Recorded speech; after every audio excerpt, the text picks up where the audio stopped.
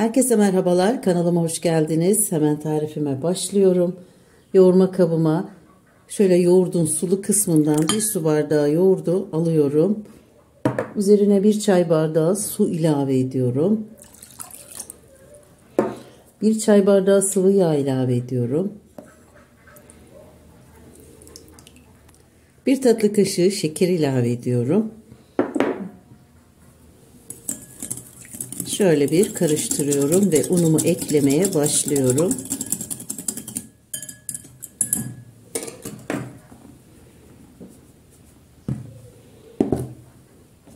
Silme bir tatlı kaşığı tuz ilavesi yapıyorum. Ve bir paket kabartma tozunu ilave ediyorum.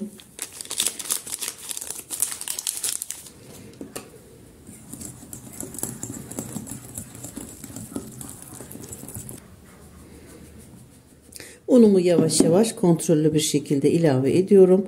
Toplamda 4 su bardağı un hazırladım. Ne kadar un kullandığımı açıklamalar kısmına yazıyor olacağım. Oradan bakabilirsiniz. Unumun tamamını ilave yaptım. Hamurumu toparlıyorum.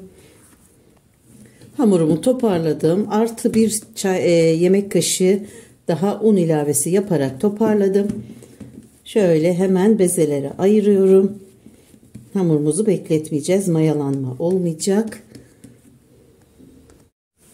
Bezelerimi hazırladım. 11 tane bezemiz çıktı. Şimdi hemen açmaya başlıyorum. Şöyle hafif unlayalım. Elimize yapışmasın.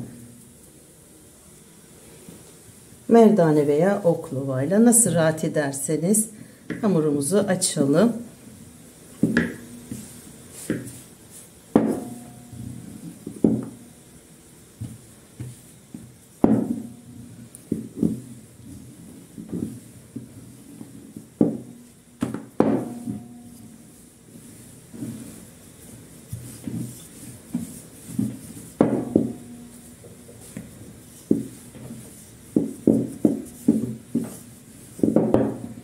Evet şöyle kenara alıyorum. İster yuvarlak açın isterseniz de bu şekilde oval olarak dilediğiniz gibi açabilirsiniz. Şöyle kalınlığını göstermek istiyorum. Fazla kalın açmayın. Kabartma tozumuz olduğu için kabaracaktır. Tavamı ocağıma aldım ısıtıyorum. Sıcak tavamıza ilave edeceğiz. Hemen sıcak tavama alıyorum. Orta ateşte pişirelim.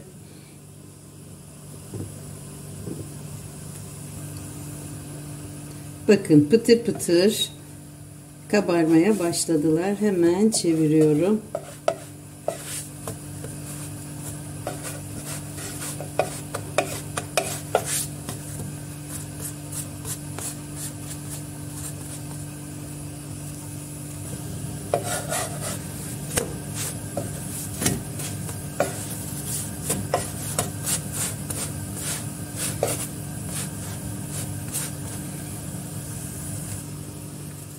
Ekmeklerimin üzerine tereyağımı sürüyorum. Dilerseniz bu yağı eriterek de sürebilirsiniz ama sıcakken bu şekilde sürdüğümüz zaman da çok güzel oluyor.